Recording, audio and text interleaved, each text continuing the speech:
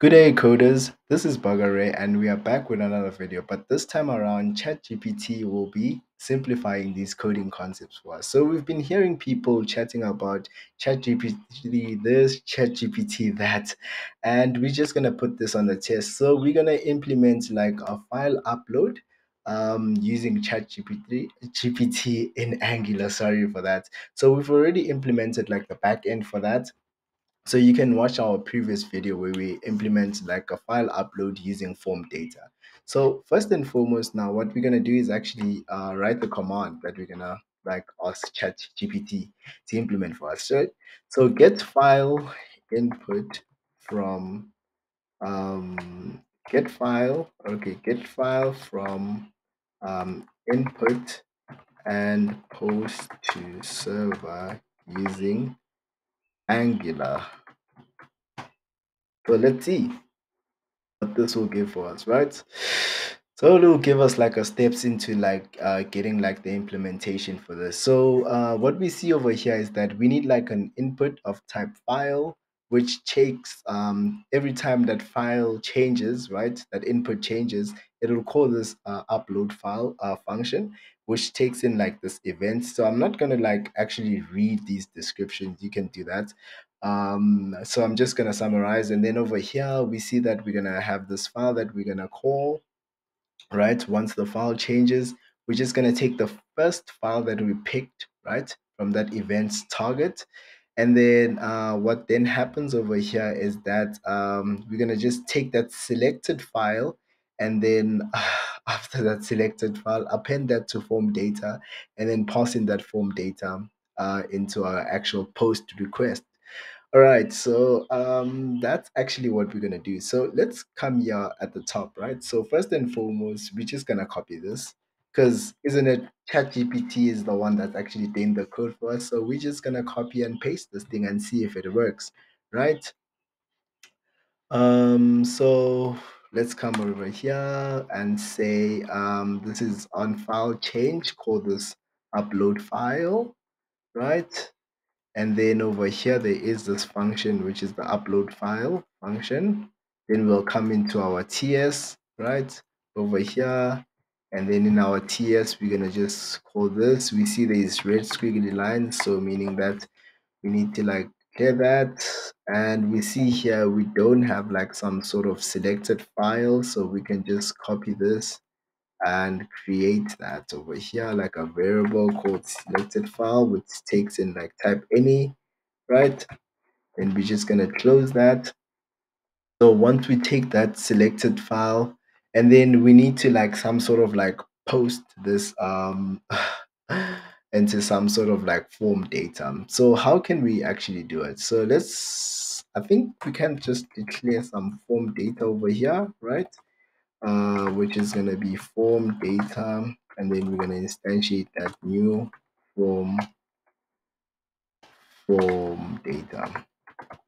Or not. Because now i think now we're not obeying the rules right? We said chat gpt uh, chat, chat gpt is the one that's implementing the code so let's rather copy and paste so um now let's go to this upload file right? So this is uh so we'll just uh put this um logic once the actual um um add to do button is clicked then we'll just uh, carry on with this right? So we'll copy these two over here for this right? And then just come here and then we say once we call this add to do function, we're just going to instantiate this form data, that, and then just pass in the selected file, right? Um, over here. And yeah, that's all. And then over here, we need to like call in like this endpoint that we're going to create. So in order for us to create this, which is like a post method, we can just copy this and come to our to-do service over here and then we're calling like our upload upload file function which takes in form data which is any and over here then we'll return http post but we actually have to post to our actual endpoint. So what we're going to do is these this right?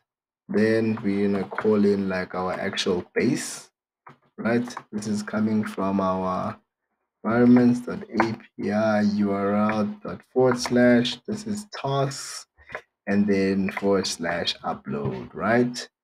Which is coming from our c sharp backend over here which is that right? So let's just start our server in the meanwhile. So this should call in this endpoint right? So let's go back to our actual Angular code, right?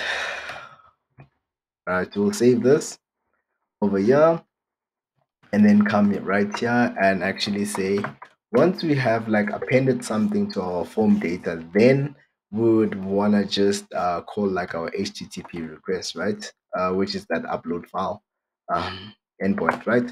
So this dot um, to do service upload file right? And then we're just gonna pass in our form data and then we wanna subscribe to that, right? And then we wanna get like our results.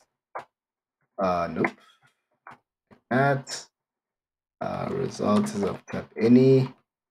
Then we're just gonna console.log our actual results.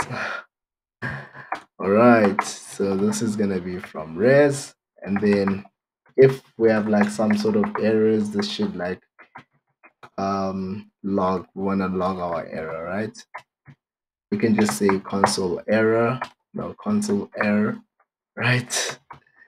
I think this should work. Hmm. Oh, there's console error instead of console log. Okay, all right.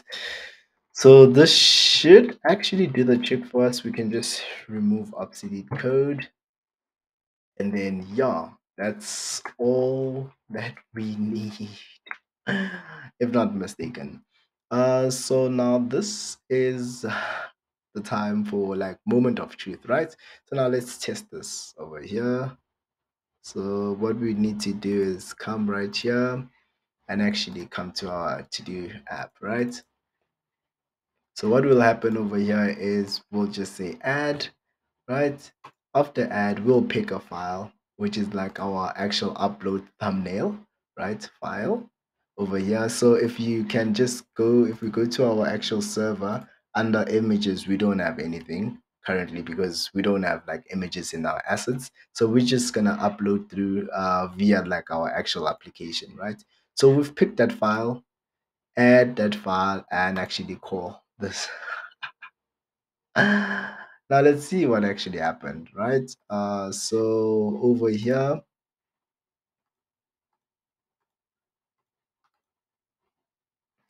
So over here, we see that something actually did happen, right? So did we have like an error? I think this was like 200, 200. I think everything is fine over there. Now, what we actually need to do is actually come to our server and actually see. All right, yeah, we did like upload something. so this is our actual like thumbnail that we actually like uploaded to like the server. So I guess we'll just give this uh, chat GPT uh, chat gpt some credit i mean we didn't have to like think of like the code that we needed to um actually uh, we need to actually implement this functionality. Uh, but in terms of people having like arguments in terms of like, will this chat GPT replace uh, uh, programmers? well, to my opinion, I would say, I don't know, anything is possible, but I think that you do need to know some sort of like these programming concepts, right? In order for you to like write these uh, commands or whatever you want um, to actually achieve, right, uh, with your actual code, right? And you need to actually understand what you're actually doing. So it serves no purpose if you're just gonna code out something with no understanding of what's actually going on. And another thing is when you build like um, applications uh, that are gonna be used by people, they're gonna be there's constantly gonna be like requirements and stuff like that. So you do actually some sort of need like a human to interpret what needs to be done and actually cater for like the different types of age cases. So, but I'm not saying what I'm saying is actually valid. So anything is actually anything can happen. So um yeah, so we've actually like implemented this. And if you're new to the channel, please don't forget to like, share, and subscribe. Now, peace.